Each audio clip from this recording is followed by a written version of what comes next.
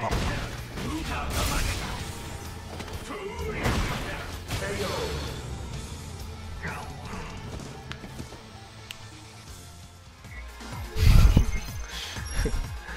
地上 EX のヒット。ブロンズの田中が言ってた。その使えな操作やばいけどちょっとやってみるわ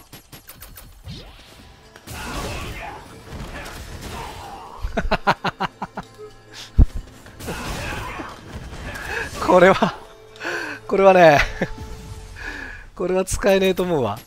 さすがに。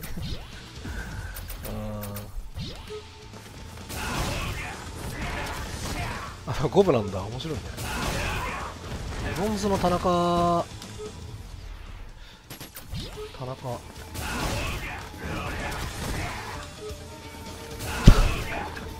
田中君この置き攻めは弱い。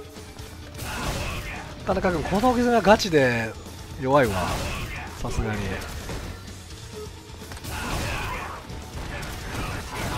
これは？やめなさい。これをやめるだけであのゴールドに行けるはず。ただこれをやめるだけで。これをやめるだけであなたもゴールドになりますから。ない、あんまりないよっていう。勝負の世界でもあんまりないよねって。うん。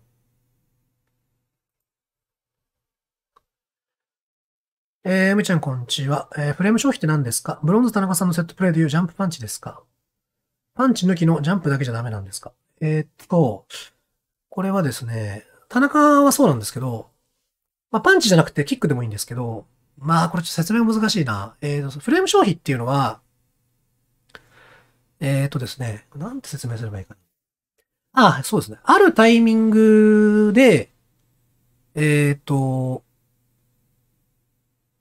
ボタンを押すとか、まあボタンじゃなくてもいいんですけど、まあ何かある、何かしらの行動を取ると、えー自分にとって有利な状況が生まれる場合っていうのがあるんですよね。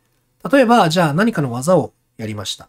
その、1フレーム後とか2フレーム後じゃなくて、30フレーム後とか、12フレーム後とか、18フレーム後とかに、えー行動、ぴぴったり行動すると、とても良い状況が生まれますと。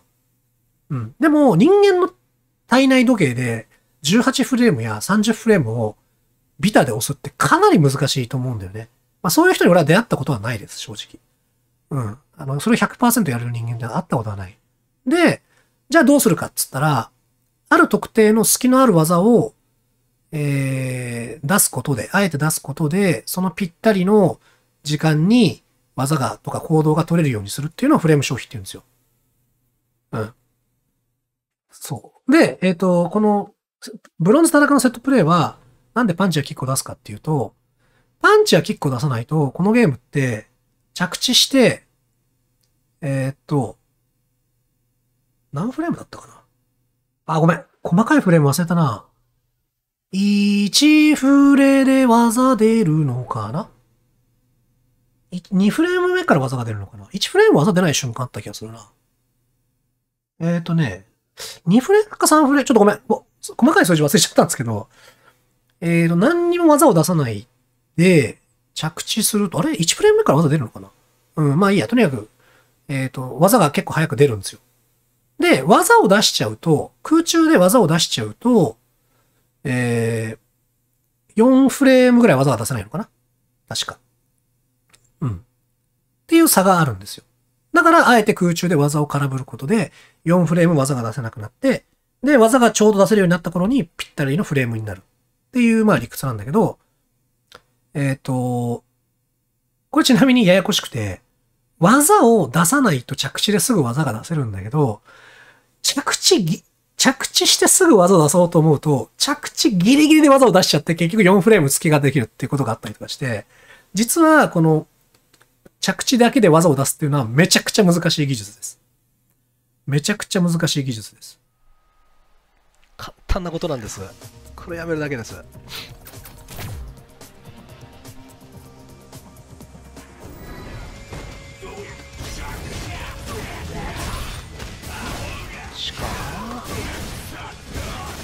本ゲージあった方がいいよね。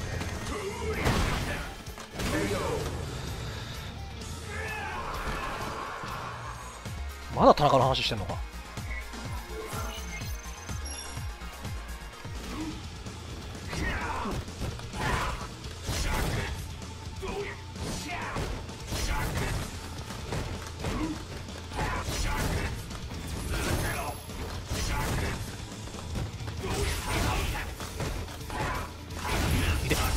ああ生発動生波動発動いいね。うっと田中じゃねえか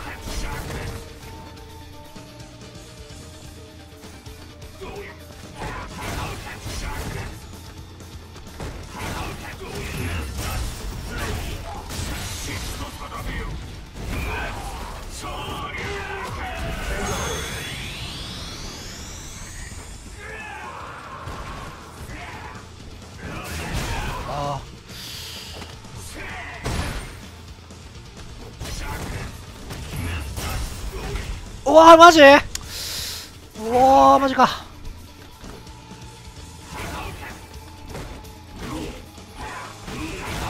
おいおいおいおいおいおい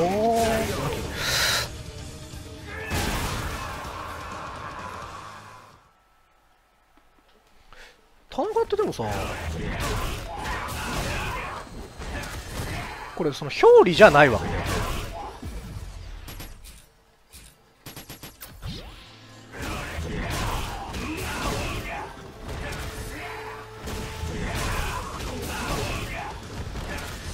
マジでやべえやべえなこの連携は。いやあのね例えばこれがアッパーの後プラ1とかだったら1万歩ぐらい譲るけどありなんだ。1万歩です聞かないかな？1うん。1万歩じゃ効かないかな。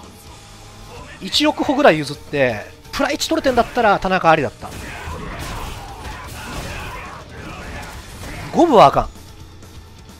さすがに5部はあかん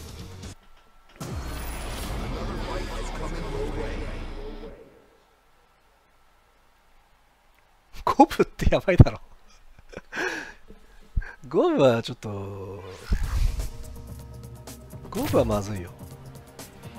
すごいチャンスなわけだから EX 立つ負けの後って。すごいチャンスの後に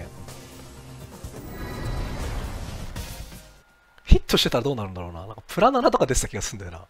シャガ大シャガ中とか入んのかな。ヒットしたらちょっと楽しそうだね。ヒットしないんだけどさ。未来英語することはないんだけど。